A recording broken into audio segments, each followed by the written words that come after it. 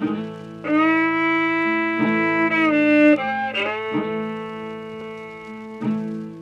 name is Sirron Norris and I'm a local artist here in San Francisco. A painting a mural is different than doing fine art or commercial art because you have a bit of a responsibility in terms of uh, the voice that you're going to throw out there. Uh, Diego Rivera said art is propaganda, and it is religious art, uh, political art. It's all out there to send a message, and you have to realize that. And it's important to kind of put something out there that serves the community, that serves yourself.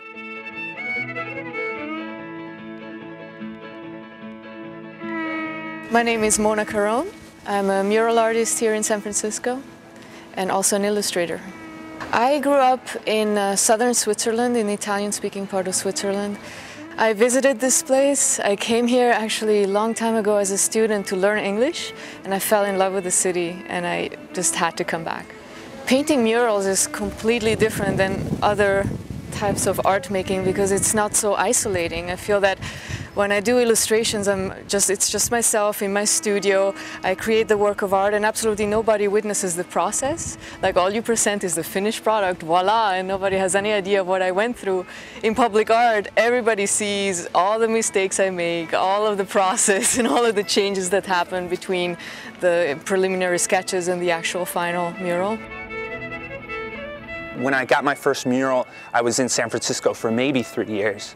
Coming from Ohio, being of mixed race, um, half black, half white, I had no really big kind of ethnic group to attach myself to in terms of, of its history. Much like uh, the murals in the mission, you know, they have uh, uh, this intense pride attached to them um, as far as the culture that they, they illustrate.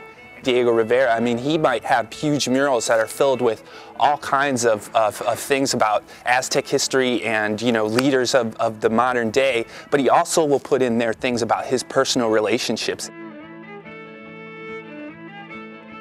I knew that eventually I was going to have to, if I really wanted to, to, to, to do a good mural that really kind of supported the community, I was going to have to find something in a subject matter that meant something to me, but it also meant something to the, the area where my mural was, was at. This mural, yeah, might be about gentrification, but I, I also have issues with uh, basically saying that gentrification is completely wrong. Um, it's not so cut and dry. There's a lot of anecdotal situations in there. So what I tried to do is, yeah, I tried to express that, but also in a lot of very subtle, um, metaphorical ways, I also tried to express the fact that I, I also think that there's a way that people go about doing things that we cannot criticize. Right here I'm working on a project that consists of two um, murals facing each other over a parking lot. This parking lot is a farmer's market, an organic farmer's market on Saturdays and I'm trying to tie in um, the existence of this little farmer's market and really emphasize it through the depiction of uh, vegetables um, in really large scale.